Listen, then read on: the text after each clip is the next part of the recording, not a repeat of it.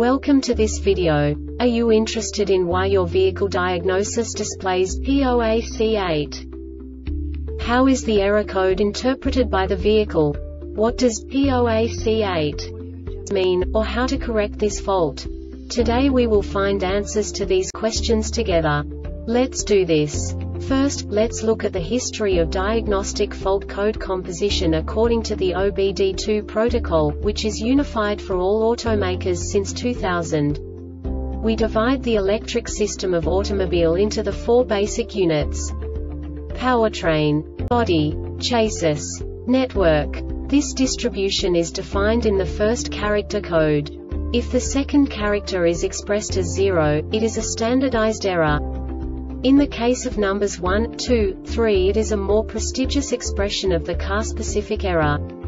The third character specifies a subset of errors. The distribution shown is valid only for the standardized DTC code. Only the last two characters define the specific fault of the group. Let's not forget that such a division is valid only if the other character code is expressed by the number 0. Our website airbagreset.sk produces useful videos for you. You do not have to go through the OBD2 protocol anymore to know how to troubleshoot any car breakdown. You will find all the diagnostic codes that can be diagnosed in a Saturn vehicles. Also many other useful things. The following demonstration will help you look into the world of software for car control units. You unbelievably can move the video a bit further.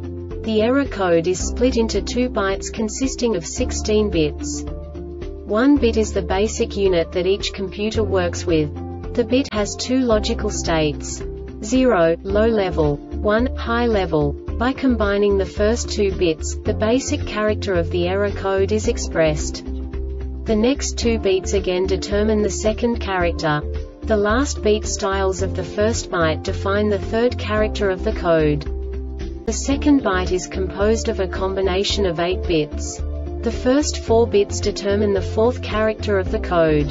And the combination of the last 4 bits defines the fifth character.